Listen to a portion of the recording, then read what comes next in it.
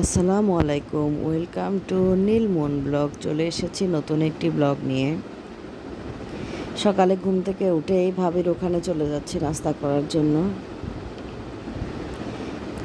আমাদের এখান থেকে, আপাও এখানে ছিল, এখান থেকে গিয়ে ওখানে নাস্তা করছি। গ্রামে অনেক বেশি কুয়াশা পড়ছে, যার কারণে আমার গলার অবস্থা খুবই খারাপ, এমনিতেও কাশি ছিল।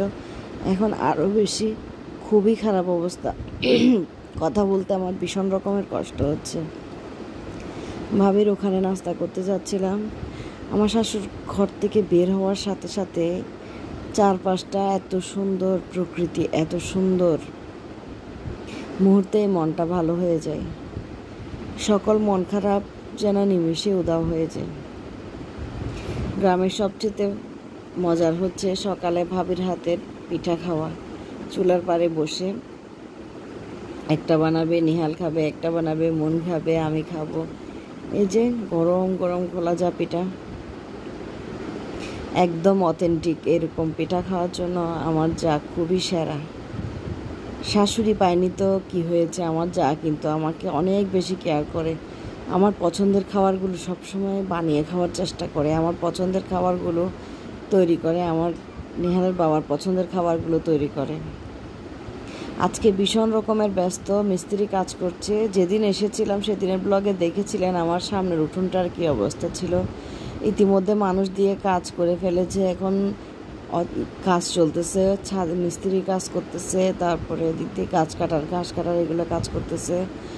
এদিকে চোটা পাশের সময় অনেকগুলো মাছ নিয়ে এসেছে। ভাবি আর রুজি বসে বসে মাছগুলো করছিল।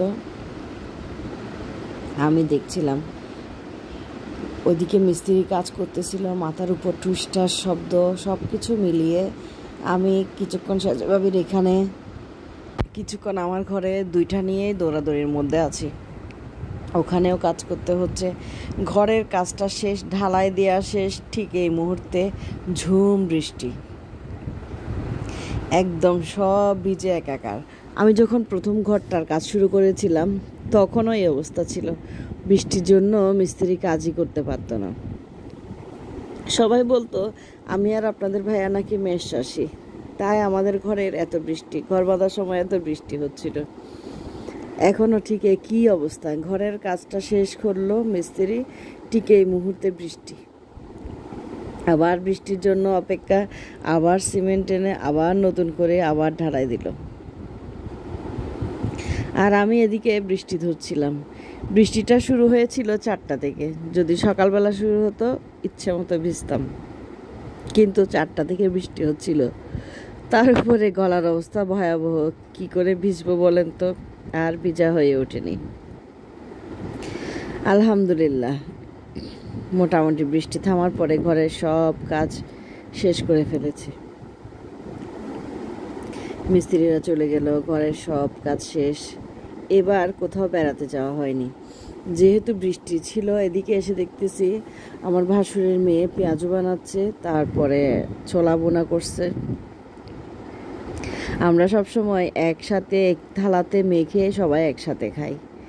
সবাই বাচ্চারা থেকে শুরু করে সবাই এই খাবারটা খুব পছন্দ করে।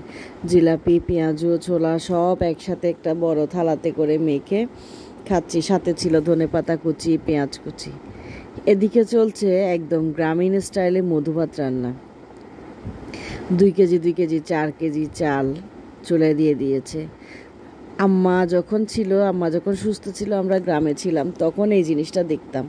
এটা বেশ বহু বছর পরে এটা দেখলাম। উৎসবের আকারে মধুভাত রান্না। কেউ নারিকেল কেটে দিচ্ছে, কেউ নারকেল ছিলে দিচ্ছে, আবার কেউ চাল বেটে দিচ্ছে। একটা উৎসবের মতো আয়োজন করে মধুভাত রান্না হচ্ছে। আলহামদুলিল্লাহ। বহু বছর পরে এমন দৃশ্য দেখলাম।